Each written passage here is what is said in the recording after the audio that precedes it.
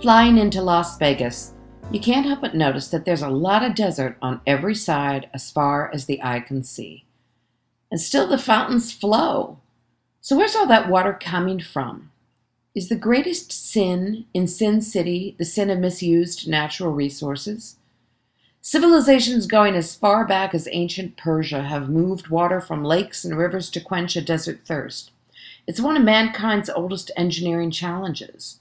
It's no different for Las Vegas, which pulls 85% of its water from the country's largest reservoir, Lake Mead, which is fed almost entirely by the Colorado River and held in place by the Hoover Dam.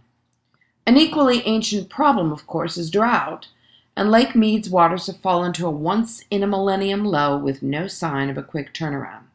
You can see the drought's mark anywhere at Lake Mead. There's that bad case of ring around the tub, naturally demonstrating the different stages of drought over the past 14 years. There's the widening muddy bottom revealed across the lake bed. A little bit of fascinating reading, and any, anyone can learn that Lake Mead does more than quench the thirsts in Las Vegas. The fight over those water rights in Nevada, California, and Arizona is generations old.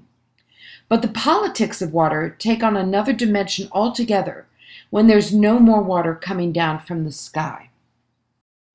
As a tourist, you'd never notice it. There are no mentions of a draught made to the happy traveler. The city still appears to rise from the Mojave's dust like an iced tropical cocktail. But the issue captured my attention on my second trip to the Vegas Strip last week as I imagined what it must take to keep those gardens gorgeous, the swimming pools full, those bed linens washed, and your water glass topped off. And of course, there are the fountains, small and large contemporary and classic. Then there's the mother of all fountains at the Bellagio. And given this historic drought, it really does seem like a mirage. Vegas has naturally been scrambling to address any way to keep those fountains flowing. A tunnel project started in 2008 would let the city pull water from the deepest part of Lake Mead. It would be the third such pipeline, this time sucking water from the deepest part of the lake like a straw but its hit delays, cost overruns, and even resulted in a death.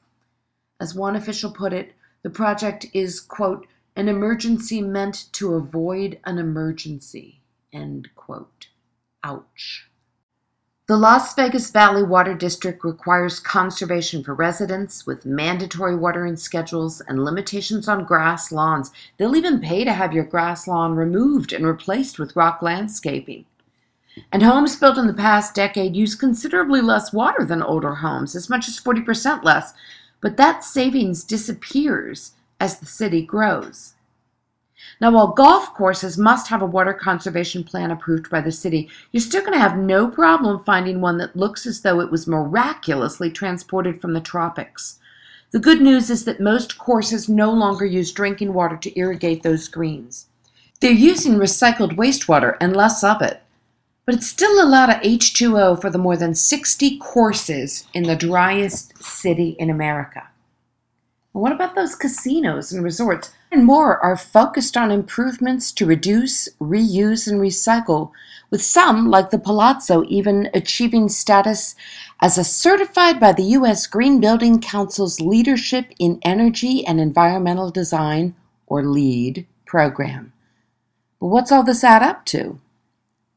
The Las Vegas metro area now collects, cleans, and recycles to Lake Mead 94% of all water that hits a drain anywhere in the city.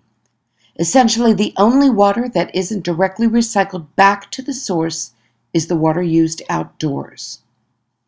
That's a pretty impressive feat and it's worthy of note.